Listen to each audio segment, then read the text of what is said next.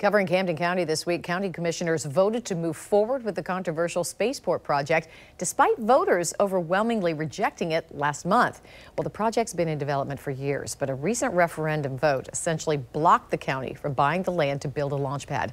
News 4 Jax reporter Joe McLean was in Camden County today, where the fight over the spaceport is taking off. We were here almost six weeks ago when voters went to the polls and three fourths of them voted against the land sale to build the spaceport project.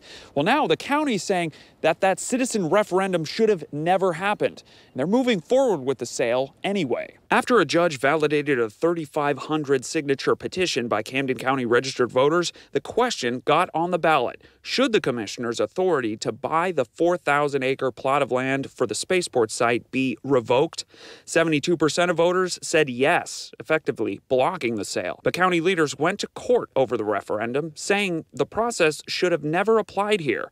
And on Monday, voted to move ahead with the land sale anyway. The county issued a statement saying, in part, the board determined that moving forward in this fashion was in the best interest of the county in order to protect the launch site operator license that was recently issued and the millions of dollars the county has invested so far in the spaceport. In the written statement, the commission also attacked the legitimacy of the ballots, saying the March 8th referendum was not even an accurate assessment of the majority of the electorate's view on the issue.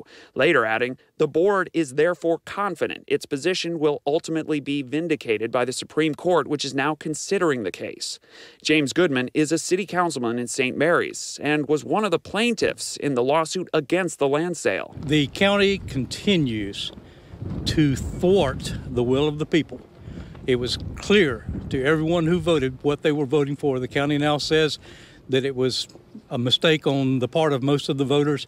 Ridiculous. What do you want to see happen next? We're going to have to appeal. We're going to have to see what the court rules. Supporters of the project say the spaceport will bring economic benefit from both launches and related industries and tourists, but opponents fear the environmental impacts and operational hazards of a commercial launch pad, but also say the economic benefits are being overblown. The county's lawsuit against that citizen referendum that's currently pending before the Georgia Supreme Court. It's scheduled to be heard this summer.